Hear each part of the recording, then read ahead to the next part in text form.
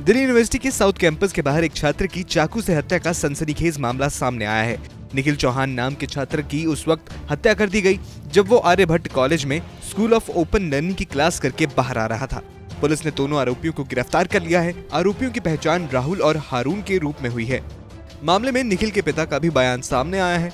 उनका कहना है कि उन्हें कुछ नहीं पता कि उनके बेटे के साथ क्या हुआ। घटना तो सर ये है कि 12 बजे हमारे पास फ़ोन आया। कि आपसे लड़की का ऐसे ऐसे झगड़ा हो गया है और चाकू लग गया है। हम तुरंत ही यहाँ पर आए तो उसे हॉस्पिटल में भर्ती करवा रखा था। वहाँ पहुँचे तो मृत था। उसके बाद उसे सफदरजंग हॉस्पिटल भेज दिया है। लड़के का नाम था मेरा निखिल। तो आपके बेटे का प्रोफ़ाइल क्या था? क्या करते थे आपके बच्चे मेरा बच्चा पढ़ता था जी। से बी ए में। बी ए फ़र्स्ट में। कौन से कॉलेज आर्यभट्ट तो ये मतलब किसने मारा है? कुछ इस बारे में कुछ जानकारी है?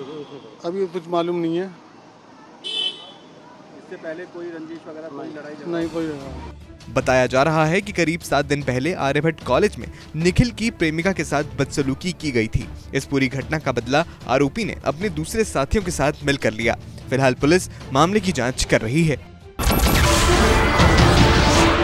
नमस्कार मैं हूँ मानक गुप्ता। अगर आपको हमारा ये वीडियो पसंद आया हो तो इसे लाइक और शेयर ज़रूर करें। और हाँ हमें सब्सक्राइब और फॉलो करना ना भूलें, ताकि आप देश और दुनिया की कोई खबर मिस ना करें।